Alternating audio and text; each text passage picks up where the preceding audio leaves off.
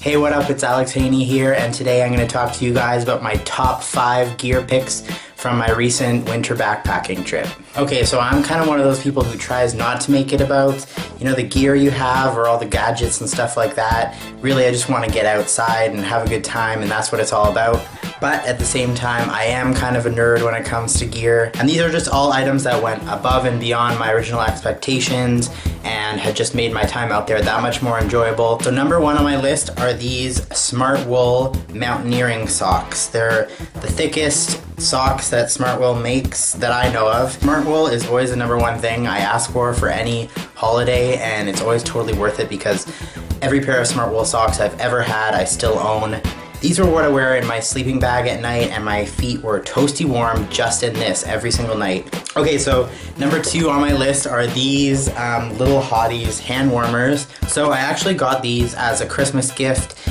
and to be honest, like my first thought was this is super gimmicky. There's no way I'm gonna bring this when we're camping. It's just gonna add weight and I really don't need it.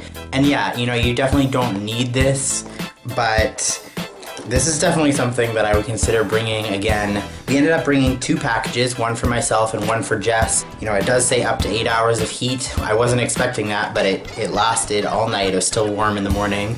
Jess and I both had a really awesome experience with them.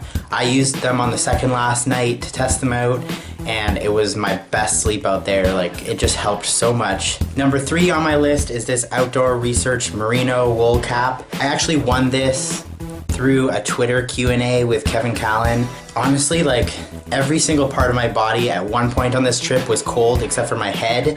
And as you can see, I'm bald.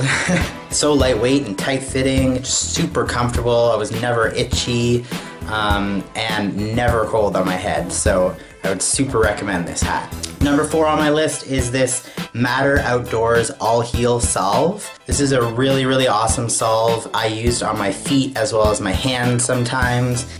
smells really awesome, just kept my feet super nice and happy throughout the entire trip.